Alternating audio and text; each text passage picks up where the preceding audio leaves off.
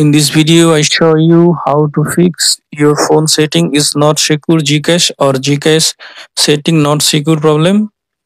For solving this problem, go to settings,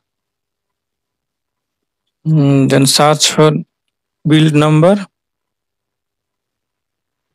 tap on build number, continuously type 4, 3 or 6 times now 11 lock screen now enable developer option now search for dev developer option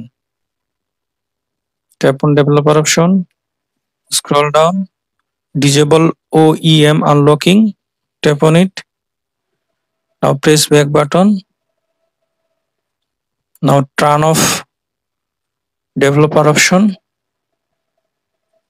now open Gcash. Now I hope that this method fix your phone setting is not secure Gcash.